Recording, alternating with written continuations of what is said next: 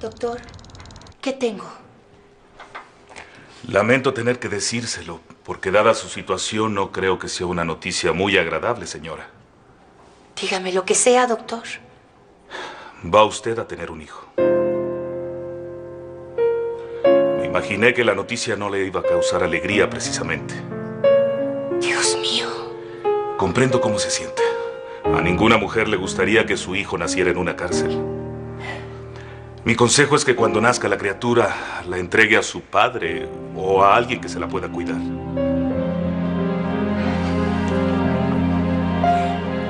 Dios, si lo hubiera sabido, tenía derecho a sacrificarme yo, pero a mi hijo no. No me cansaré de vengar tu muerte, José Fernando. Aun cuando esa mujer logre salir de la cárcel, no me cansaré de hacerle daño. Nunca terminará de pagar lo que hizo. Y si yo muero, quedará tu hijo para seguir vengándose. Lo llenaré de odio, día tras día contra Soledad Romero. Un odio que nunca tendrá fin.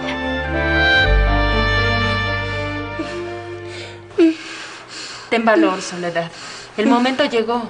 Tu hijo va a nacer.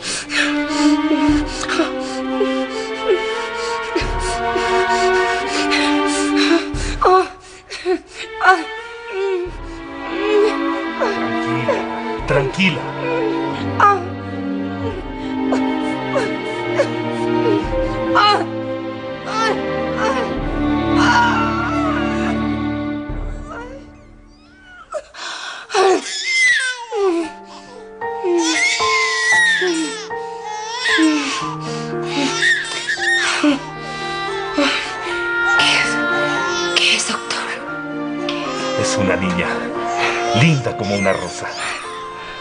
Una niña. Ay, Dios mío. Pobrecita. ¿Qué va a ser de mi hija? Tu hija es muy bonita y está sana. Como mamá te puedo sentir orgullosa de ella. Soledad, ¿quieres verla?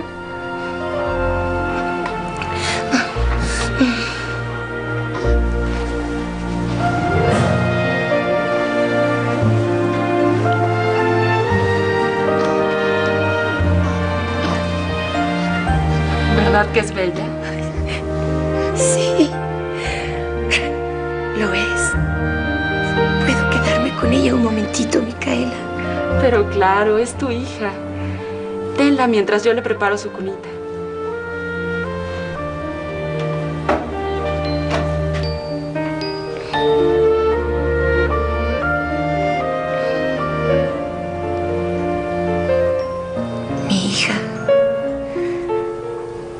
Y yo la he condenado a nacer en este lugar horrible.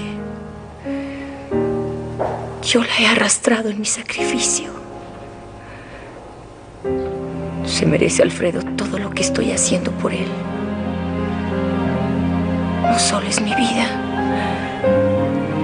sino la vergüenza y la desdicha de esta criatura inocente.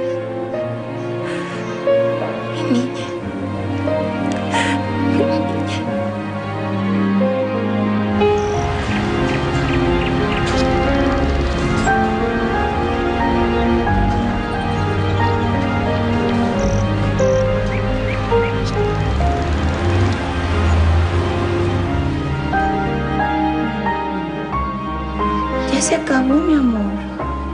Ya se acabó, mi cielo. Tienes visita, Soledad Romero.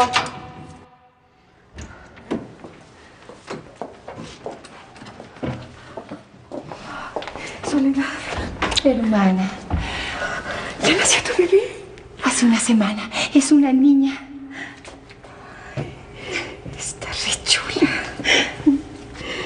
Qué dichosa te debes sentir. Es un tesoro. Pero no es nada agradable tener un hijo en la cárcel. Bueno, ¿y tú cómo estás? ¿Y tu bebita?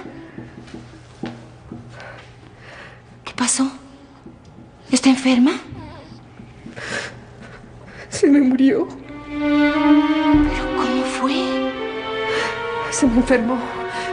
Pensé que era algo sin importancia, pero luego se puso peor. Ya sabes dónde vivimos.